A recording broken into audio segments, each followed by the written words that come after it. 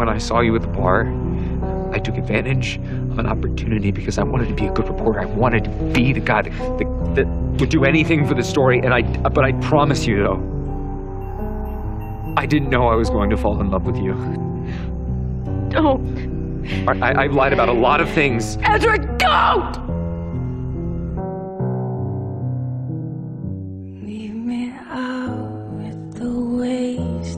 Is not what I do. It's the wrong Love this song. B26. of you. It's I just want to get off. Are you please just listen to me. Nothing you say will change anything. somebody new. I don't even know who you are.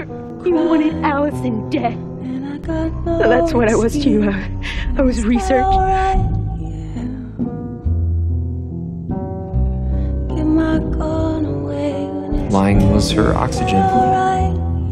She could do it while she was laughing. She could even do it when she was kissing you. Alright, yeah. Give my How did you know that Spencer only saw the helmet and a tattoo? I, I just don't think that was included in any of the reports or anything. I think you must have told me. This is not what I do. It's Why are you doing this? Just come out and talk to me. It's the wrong time. She's pulling me through. It's a small I was writing a book about her, crime. And I got no excuse. but I have never lied, not alright? once, about how I feel about you. Give my gun away when it's loaded. Is that alright? No, I want to know what was worth destroying everything we had for. I'm supposed to hold, is that alright? Yeah.